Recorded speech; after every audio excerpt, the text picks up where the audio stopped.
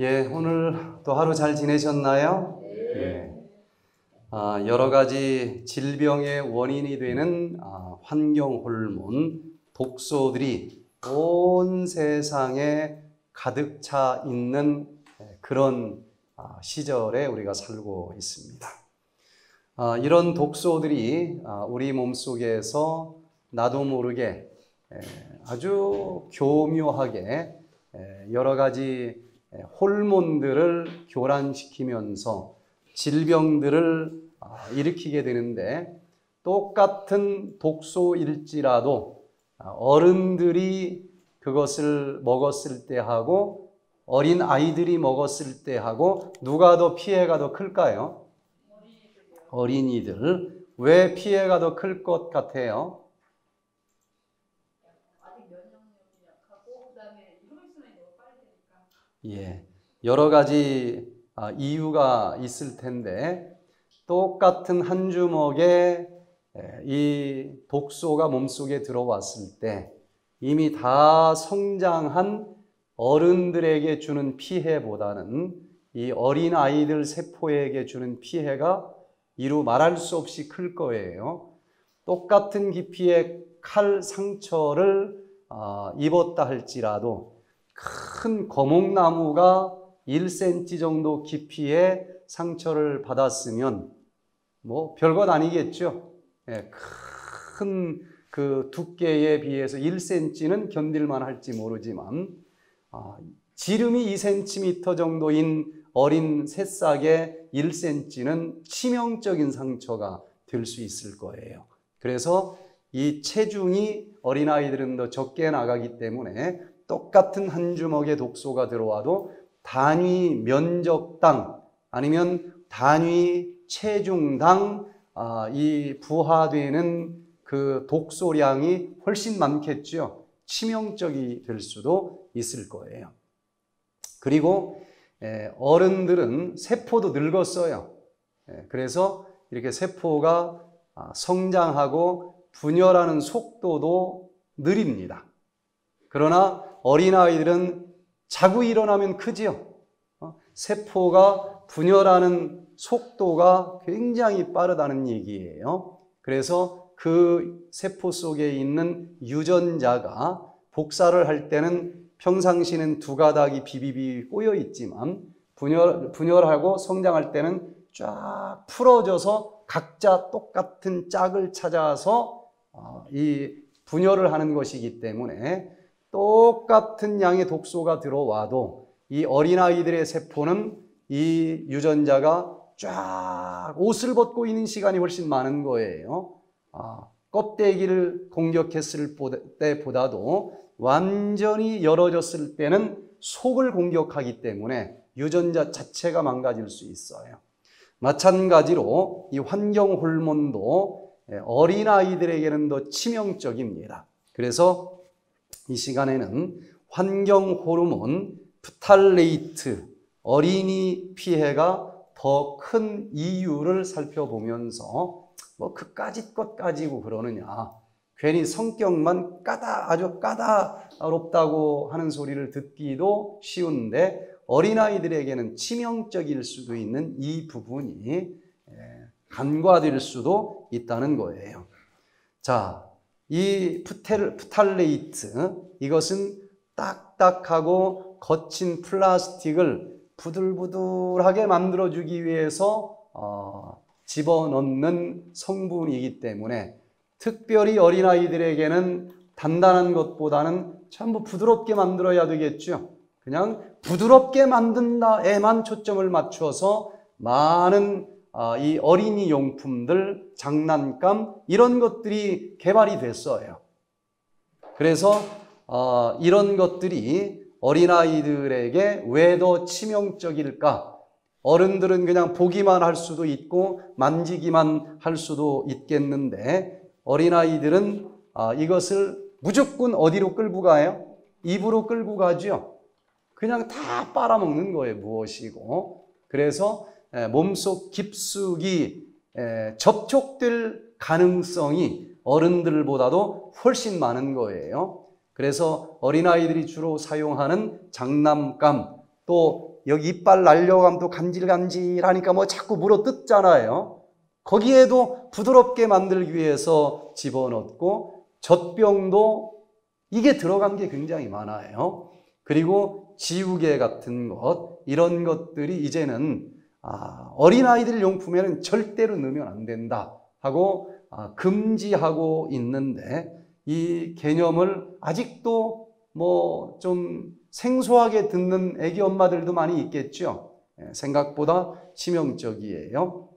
여기에 이 부탈레이트가 아, 들어 있는데 예, 연령별로 아, 이 몸속에 부탈레이트가 얼마나 아, 이 들어 있는지 예, 검사한 것을 보니까 제 3기 국민 환경보건 기초조사 2015년에서 17년도에 조사한 것을 보니까 어린이들 어른들은 한 23점 마이크로그램 리터당 그 정도 이 프탈레이트가 몸에서 검출이 됐고 중고등학교 학생들도 뭐 많이 컸으니까 비슷해요. 근데 초등학생들은 48.7, 영유아는 60.7, 뭐 거의 어른들보다도 아이들은 3배 이상 더 어, 피해가 더 클 수 있다는 것이 현실입니다. 뭐 이론적으로도 그럴 것 같은데 이게 또 사실이라고 하는 거예요.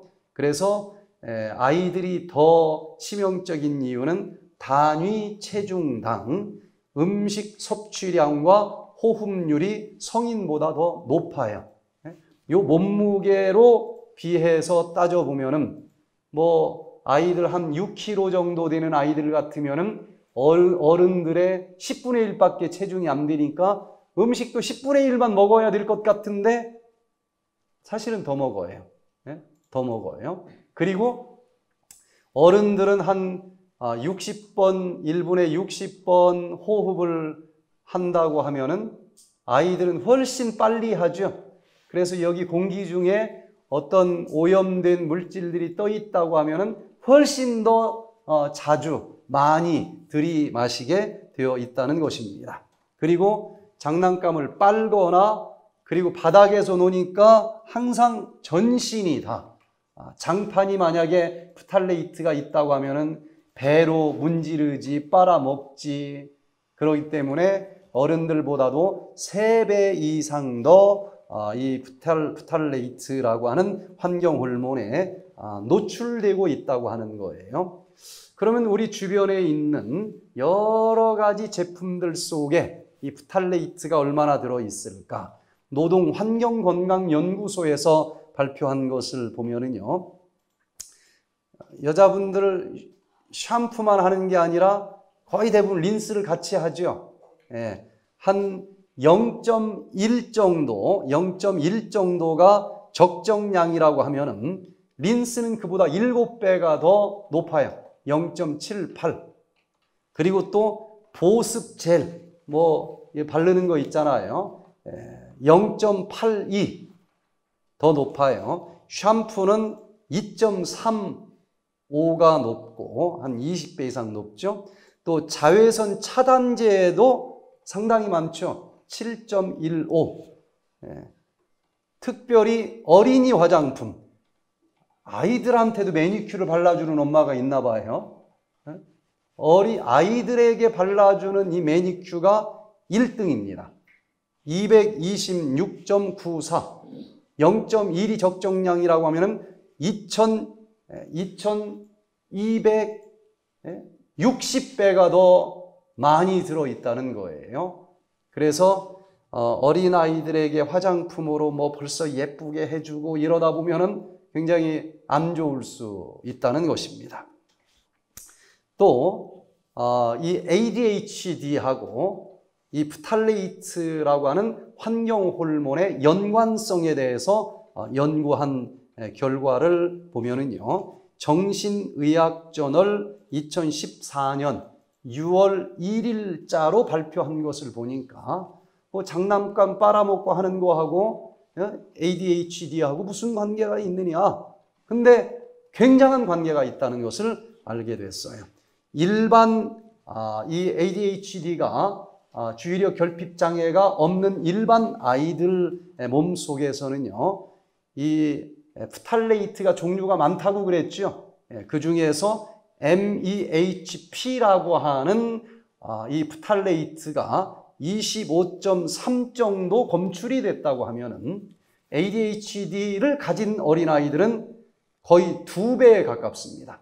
48.2 정도가 검출이 돼요.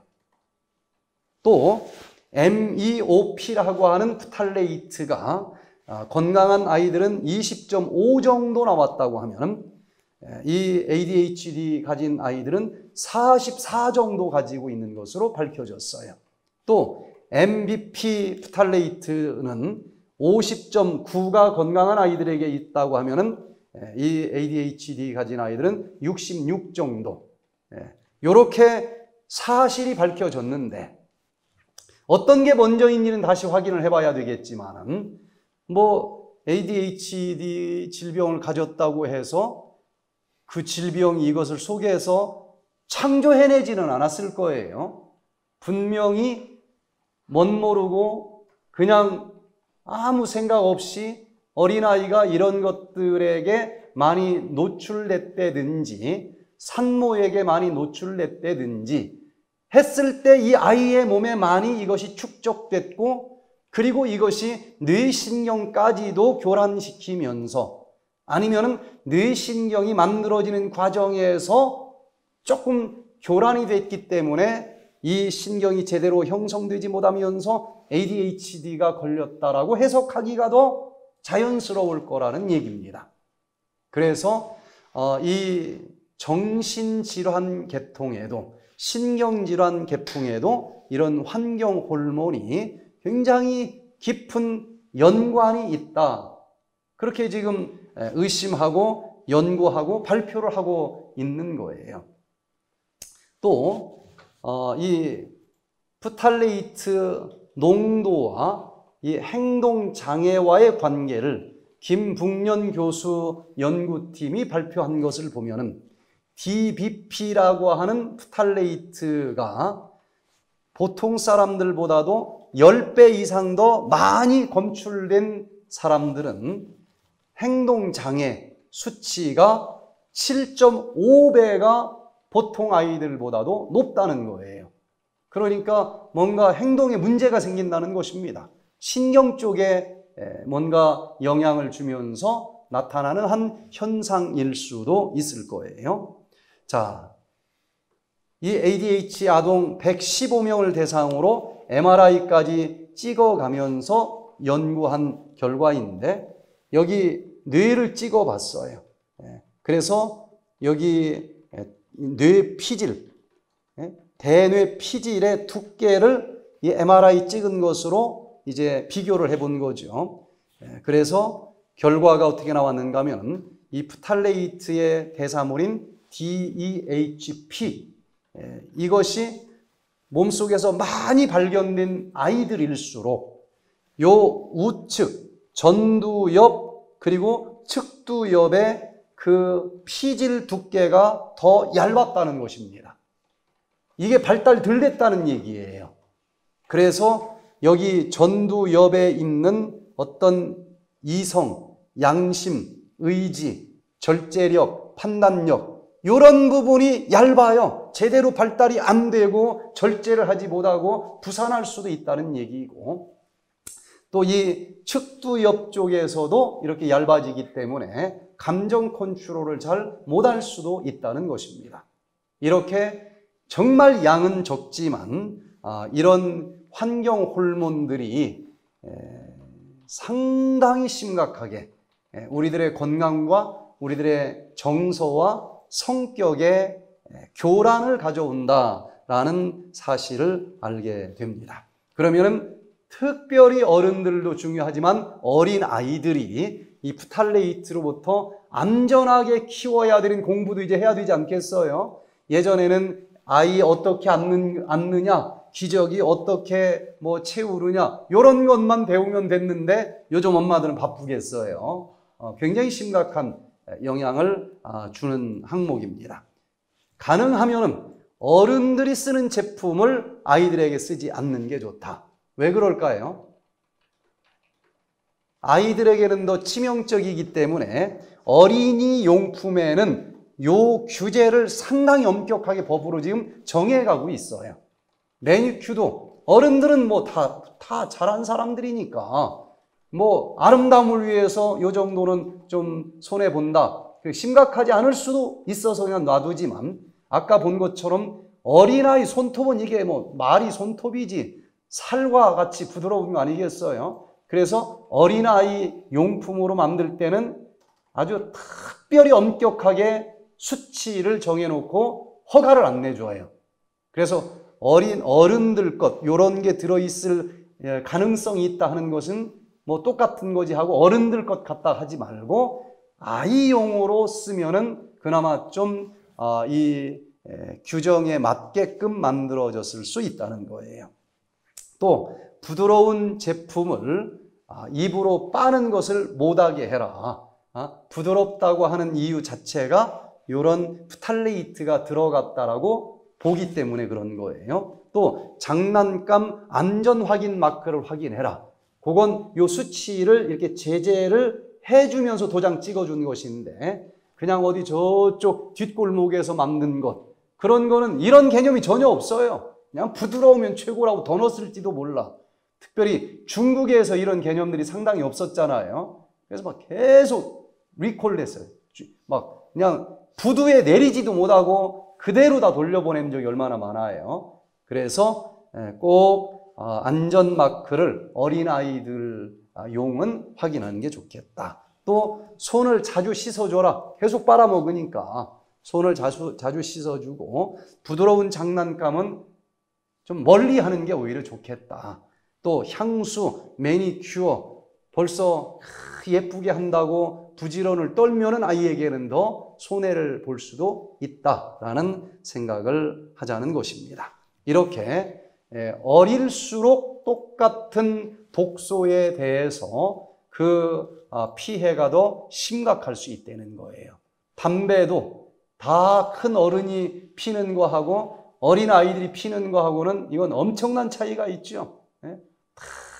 큰 어른들은 이미 다 성장한 상태에서 아, 이 독소의 공격을 받지만 어린 아이들은 막 성장하는 과정이기 때문에 이 세포의 유전자가 쫙 옷 벗고 있는 상태에서 그 독소들이 들어올 수 있어요. 훨씬 더 어, 연구 결과도 심각합니다. 어, 우리가 이 영적인 것도 마찬가지일 거예요. 어, 이 신앙이 어렸을 때일수록 더 이런 죄와 여러 가지 영적인 그 공격으로부터 약하기 때문에 더 기도 많이 하고 더 잘 마음을 단돌이 하고 하면서 살아갈 필요가 있을 것입니다. 우리 이렇게 작은 것까지도 신경 쓰면서 100세가 넘도록 질병 없이 건강하게 살아갈 수 있는 우리 모두가 되시기를 간절히 바랍니다.